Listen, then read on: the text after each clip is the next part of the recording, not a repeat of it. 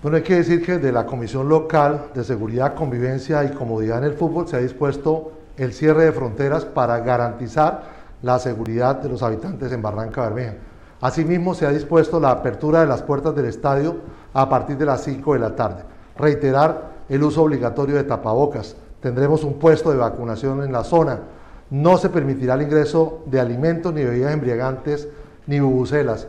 No está permitido el ingreso de niños menores de 5 años, reiterar y hacer el llamado al distanciamiento mínimo de un metro en las graderías, el cumplimiento de todas las medidas de bioseguridad, pero sobre todo dar el ejemplo en Barranca Bermeja que nos podemos activar de una manera segura y responsable para disfrutar de este importante espectáculo.